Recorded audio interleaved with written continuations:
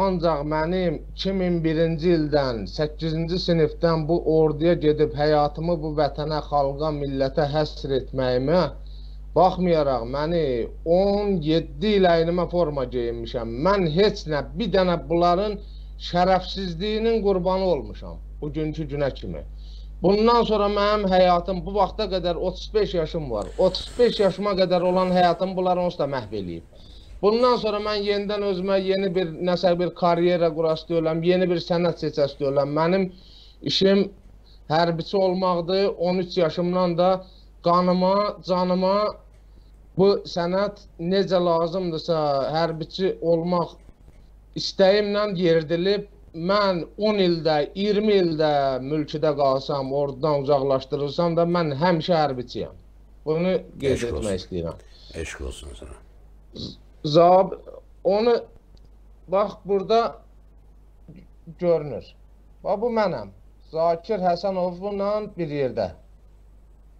Talış e, Tapqara qoyunlu yaşa həmin kazarmadı. Burada birinci mən qəbul etmişəm Zakir Həsənovu. İkinci dəfə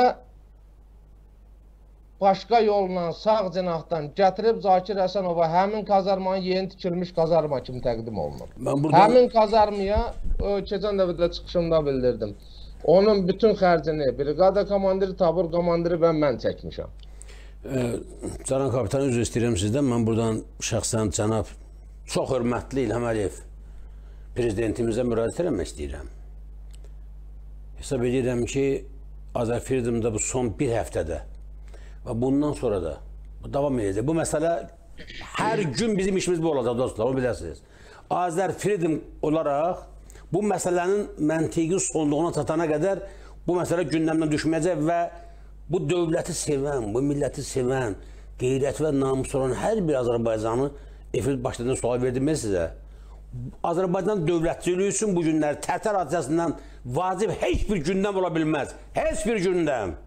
Bu məsələ ya bu hakimiyyətin sonuna çıxacaq, şəxsən İlham Əliyevin, ya İlham Əliyev özü bunların sonuna çıxmalıdır, etiraf olunmalıdır. Əvvəla mən cənab kapitan Vaqif müəllim, Bəli. sizə söz verirəm ki, günlərin bir günü sizin yenidən o şərəfli Azərbaycan əskərinin, zabitinin formasını geyəcəyiniz günə mən inanıram və buna nail olacağıq. Tam əmin ola bilərsiniz. Burada mən cənab prezidentə müraciət edirəm. Bu baş verənlərə laqeyd qalmaq olmaz. Qətiyyən. Dərhal deyilənlər yoxlanmalıdır. Bu adamların hamısı hüquqları bərpa olunmalıdır. Bunlar hamısı istisnasız olaraq öz hərbi əvvəlki işlərinə bərpa edilməlidirlər. Onlara vurulmuş maddi və mənəvi ziyan artıqlaması ilə ödənməlidir və Azərbaycan ordusu məhz bu kişilərin çiynində yenidən qurulmalıdır. Hörmətli cənab prezident İlham Əliyev, siz görün necə bir müdafiə naziriniz var ki, bir kazarmanı ona iki dəfə təqdim edirlər. Adam qanmır, ayrılmır ki, bunu doluyub əri salırlar. Çox güman ki, o da elə sizə o qaydada hesabat verib Müdafiə Nazirliyinə pul ayrılmasına nail olubdur. O pulları da şəxsən özləri yeyiblər. Əskərlərin, zabitlərin hesabına, za- zabitlərin hesabına kazarma tikdirirlər. Blindajlar tikdirirlər. Görün, tank təmir etdirirlər. O- Ona ayrılan pulları da mənimsəyirlər. Özlərinə villa tikdirirlər. Mən sizə buradan deyim, bilirəm ki, Azərbaycanda bu günləri maliyyə problemi var. Bilirəm dövlətin büdcəsində böyük gərginlik var.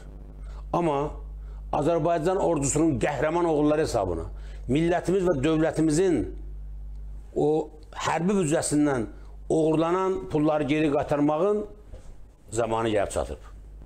Bu hadisədən istifadə edib, üzr istəyirəm Vaqif bəy, mütləq o adamların bütün villaları müsadir olunmalıdır. Zakir Fər o Həsənov başda olmaqla, Nəcməddin Sadıqov daxil olmaqla hamısı özəlləş satılmalıdır dərhal. Oradan gələn pul da paylanmalıdır.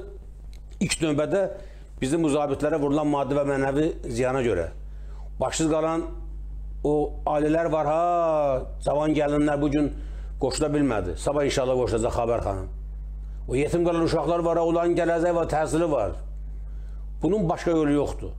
Ya bu belə olacaq, təkrar edirəm, ya da tərtər işi İlham Əliyev hakimiyyəti sonuna çıxacaq.